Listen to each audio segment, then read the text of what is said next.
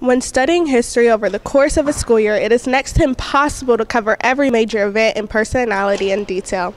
In order to get a better understanding of some topics and the people involved, it is necessary to study the topics exclusively. For example, one of the newest electives at Frisco High School is African American Studies.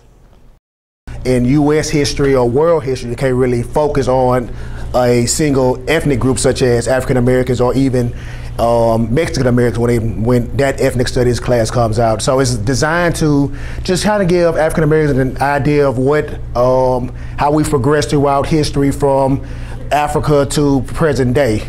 Because oftentimes we just hear about like Rosa Parks or Martin Luther King, and this class is designed to just go beyond just those central figures, not lessen their importance, but talk about some other people who also were instrumental in helping America be the country that it is today.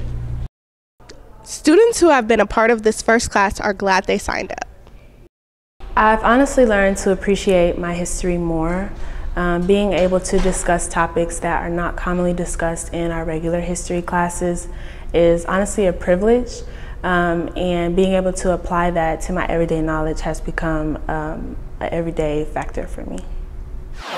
Something that I really enjoy about this class is that we're able to just come in and discuss topics about African American history and it's a really safe space for us to do that and we get to learn a lot about our culture and we have an awesome teacher, Mr. Smith. Um, he's honestly more like our friend rather than a teacher and we feel really comfortable discussing a lot of things with him. Um, I just like how we can have open conversations about you know, the goods and the bads. I really like that, and I just like how we can share anything and won't be judged for it, and share our opinions and won't be judged for it. Uh, some things I learned in this class are uh, we figured out who the richest man, um, the richest African man was, and uh, I've also learned just like the complete culture of African Americans because uh, and everything that they actually did go through because in every history class you don't get the depths of it. Like it's it's very deep and it's just it's just a lot to learn. Students are immersed into topics that are often only covered briefly in many history courses one of my favorite topics that we discussed in African American Studies was about Sojourner Truth's poem, Ain't I a Woman?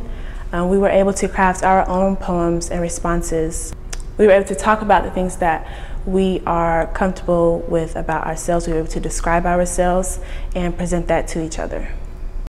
I was surprised to learn that not only February is Black History Month, but also that Abraham Lincoln and Frederick Douglass's birthdays collided. That's how they made the um, Black History Week, and then eventually turned into a month. And that month is really important to me because it's also my birthday, so I feel really special about it.